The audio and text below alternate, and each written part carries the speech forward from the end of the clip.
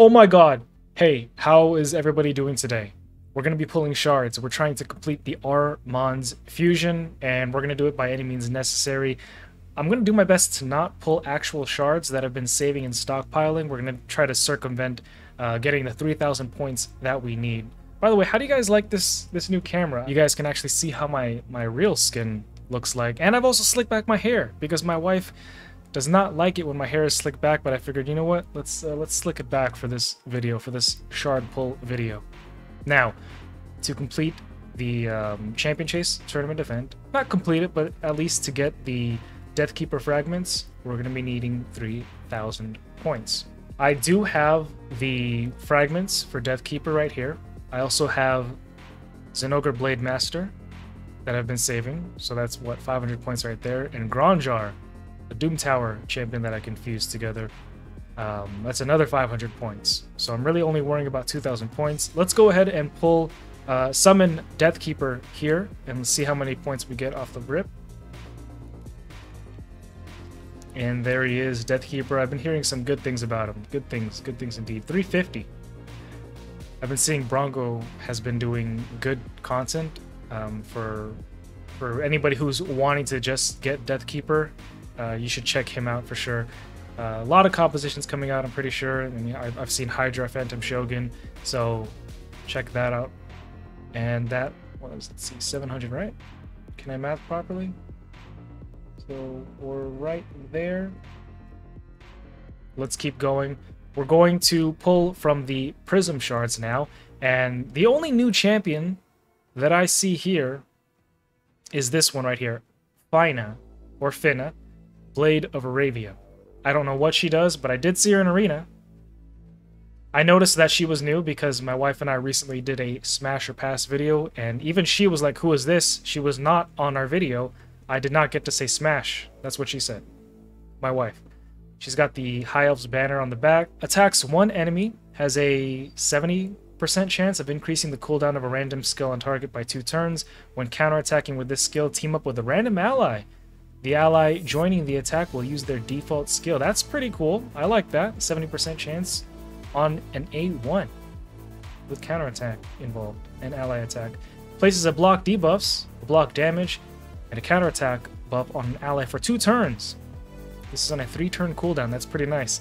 If the target of this skill is not this champion, resets the cooldown of all target's skill. Now we have uh, this bombardment of faction bonuses. I guess they're testing out more champions that have a unity um, synergy and trying to see how they take or how the people take to it.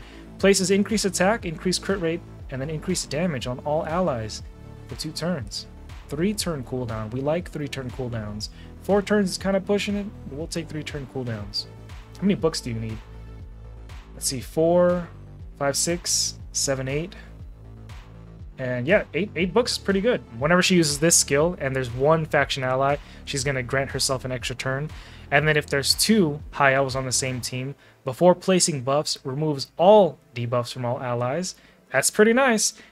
If there's an entire team, like an arena, four high elves in one team, buffs placed by this skill cannot be removed. They're protected. And then whenever a buff is placed on an ally, fills their turn meter by 3%. Okay, there's another one. This is a passive. Allies deal 25% more damage when attacking out of their active turn, because she does the ally attack.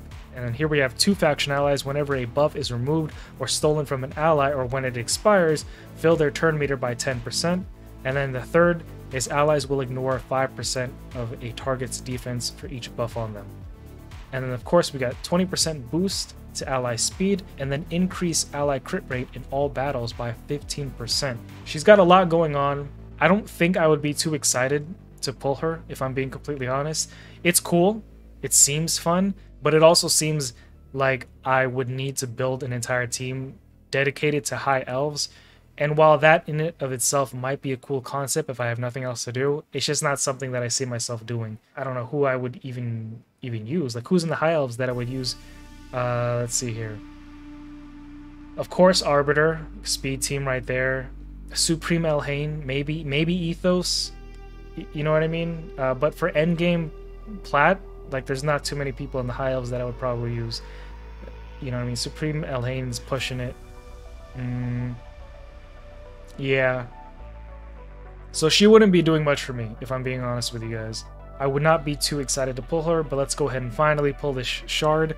Uh, sorry for the delay, I wanted to catch up and talk about that, but let's go ahead. What do we get from the Prism shard? And first pull of the day gets us an epic.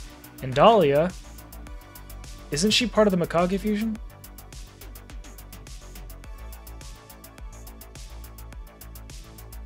Oh, I already have her. Damn it.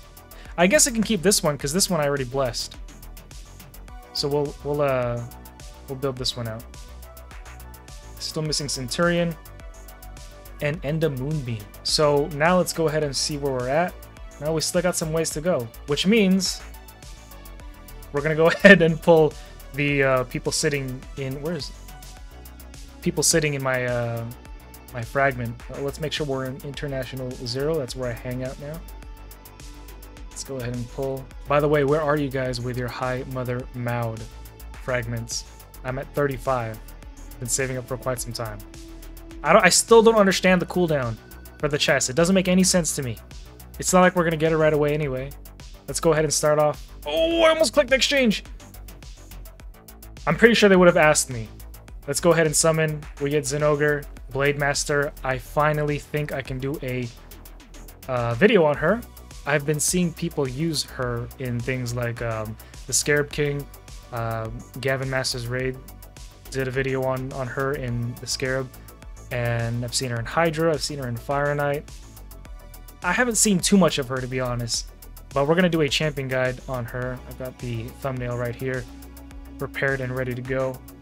Look out for that one if you guys want to see that. I'm not gonna go over her skills because I'm about to do a video on her. Let's go ahead and summon Gronjarr. And uh, what time is it? It's 1700, which means it reset and there's going to be a delay. Here we go. The dwarf himself. I don't know what he does. I don't know if he's good or not. I don't think I've ever seen him or have uh, heard him talk talked about. He hasn't been talked about that that I know of, and that usually indicates that he's not much to to speak about. He's he looks cool. He looks cool. Half broken sword right there. It's a giant sword. What are the reviews? Oh, oh, oh. Oh my. Why is he so bad? Two hitter, with a 40% chance of increasing the duration of HP burns HP based champion. 2 hitter, 100% chance of removing any block buffs. Second hit has a chance of removing one random buff except block debuffs. AoE, 100% chance on a 4 turn cooldown to place HP burn. Fills turn meter by 5% for every HP burn debuff the enemy team had before this attack passive, 3 turn cooldown. This champion will not receive any damage from HP burn debuffs. Instead, HP burn debuffs will heal this champion by 5%, max HP each time the debuff activates. Whenever an enemy attempts to place a freeze debuff on this champion, instantly removes it and places it on the attacker. Also places HP burn on the attacker, and it can't be resisted. I, it just I don't know. It, it doesn't seem like he looks cool. You get him from Doom Tower. The thing is, what he does, one kind of feels weird. It feels like they just scrapped some stuff together and we're like, you know, this could be a legendary champion. But here's the thing, guys. It's from Doom Tower. And it's not like it's the first legendary champion that you get from the Doom Tower. The point is, you get him very late. As, as a very late endgame player, I'm not going to use him for anything. There's no need for him. Alright, so we're right there. And of course, we're still a thousand points away. I'm not going to have the shards for the uh, I'm not going to have enough mystery shards to close the gap. And there's nothing else I can pull that I've been saving. So what we're going to have to do is pull our void shards, guys. We're pulling our voids. Let's go ahead and do it. We'll start off hot with a 10 pop. And oh my god, Oh, uh, uh, I don't actually know how to feel about Supreme Kael. I don't know how to feel about him. Is he is he a good champion? I have heard mixed things about him. AoE weaken, poison AoE, uh, increase duration of all enemy debuffs, can't be resisted. AoE increase accuracy. That's not really useful. 100% chance to place decreased res. Fills turn meter for each decreased res. And then decrease target's accuracy, crit rate, and crit damage by 3% for each poison on them. Uh, what are the reviews? What does the Carfax say? Uh, he looks cool. I remember when they released the, the four um, Supreme pizzas, uh, the four Supreme starters. And, um, like, I thought he was the one that I wanted, but I, I don't know. I don't know if he's good or not. Could somebody tell me if he's good or not? I, I don't know. I don't know. I don't, the, the, the issue is I don't know what if, if I should feel happy or, or feel uh, sad. I, I, I kind of wanted a Siphi. I was expecting an Acrizia. But, you know, we'll, we'll uh, I guess we'll have to settle for this. And we're there. We, we got it. And, uh, yeah. I, I, sheesh. We, we got a legendary. We got a legendary, guys.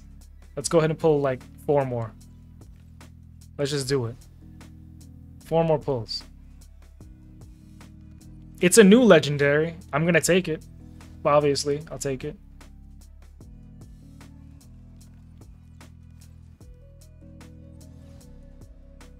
Let's see here, and then one more. Let's see where we get. And we get this Aelia Life Braid. But yeah. Here we are. We're so close to that Lego book. No, no, we're gonna stop right now. Oh boy.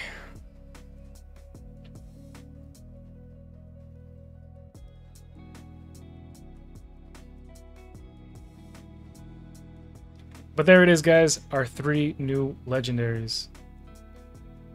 In all seriousness, though, is this guy good or not?